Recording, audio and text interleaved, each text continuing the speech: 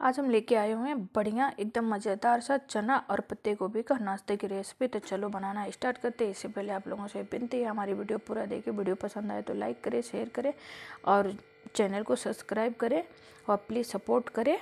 तो देखो हमारा बढ़िया सा नाश्ता। देखने में कितना अच्छा लग रहा है। तो बिना देर किए चलो बनाएँगे हम। और ऐसे ही हमारी वीडियो पूरा देखते रहें। वीडियो पसंद आए तो लाइक करें, शेयर करें, चैनल को सब्सक्राइब करें और पूरा वीडियो देखते रहें और प्लीज़ सपोर्ट करें।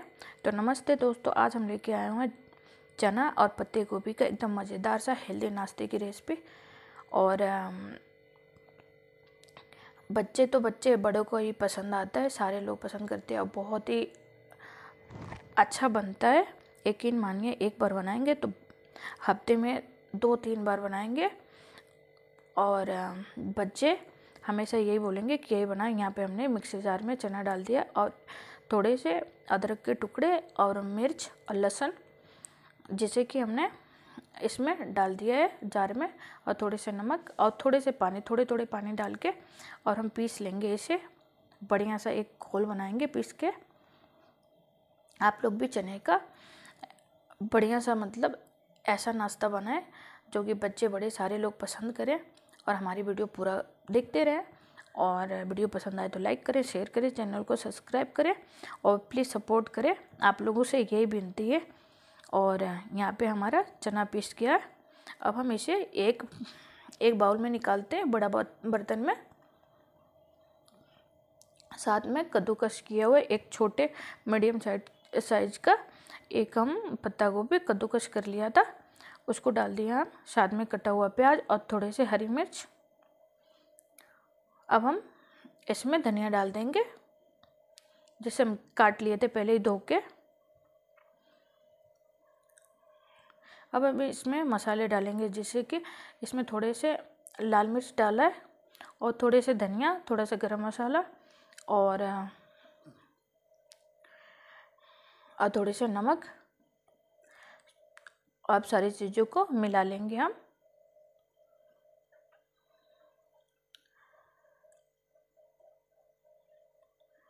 ऐसे ही आप लोग भी बनाएँ, चने का नाश्ता बहुत ही हेल्दी और बहुत बढ़िया बन के तैयार होता है। इसमें हम थोड़े से और आमचूर पाउडर डालेंगे। थोड़ा नहीं, एक बड़ा चम्मच आमचूर पाउडर डालेंगे। जिससे कि बढ़िया स्वाद आए। आप लोग चाहे तो नींबू डाल सकते हैं। हमने टमाटर नहीं डाला और नहीं नींबू तो हमने आमचूर पाउडर डाला है। थोड़े से और हल्दी डालेंगे, जिससे कि कलर अच्छा है आप लोग चाहे तो नहीं भी डाल सकते हैं। अब हम इसे ढक के पाँच मिनट के लिए साइड में रख देंगे।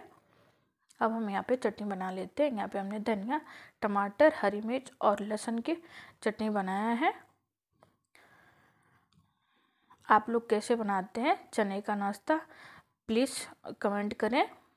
और हमारे यहाँ पे घोल भी बन के तैयार है। अब हम चलते हैं गैस की तरफ़।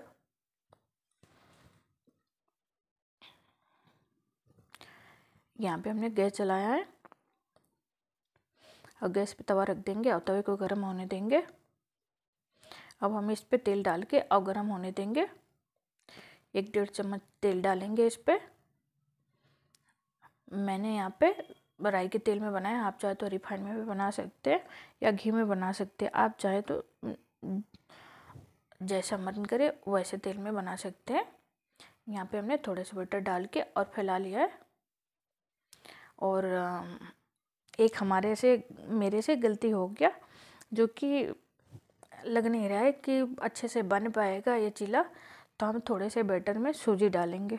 जिससे कि थोड़ा सा जड़ा हो जाए, गाढ़ा हो जाए गोल और बढ़िया अच्छा बन के तैयार हो चिला तो ये देखने में भी टूट गया और बनने में तो बहुत ही मुश्किल हुआ।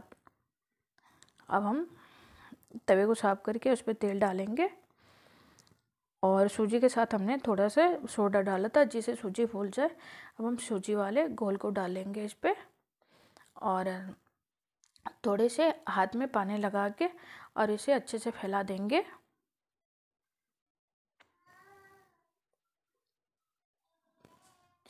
आप लोग एक बार बनाएँ, मेरे तरीके से नाश्ता बहुत ही अच्छा और बहुत ही हेल्दी बन के तैयार होगा।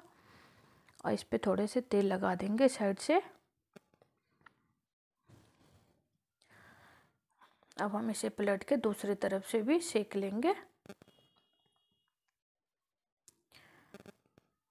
यहाँ थोड़ा सा और तेल लगा दिया ऊपर से हमने। एकदम बढ़िया एकदम मस्त नाश्ता बन के तैयार है। आप भी खा, बनाएँ खाएँ और मज़े करें और हमारी वीडियो पूरा देखते रहें और वीडियो को सपोर्ट दें और अपना प्यार दें जो कि हम ऐसे ही आप लोगों के लिए नई नई रेसिपी लेके आते रहेंगे। और आप लोगों से एक ही विनती है कि हमारी वीडियो पूरा देखें।